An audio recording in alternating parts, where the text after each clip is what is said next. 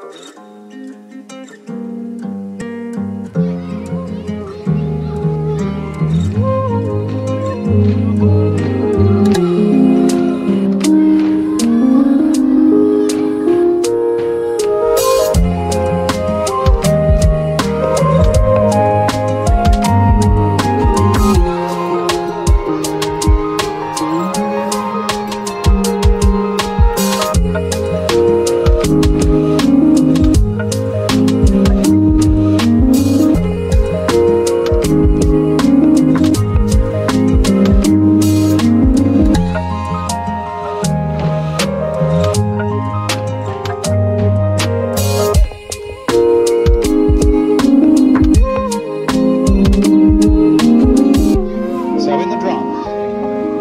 somebody has to be the villain and play the dark side.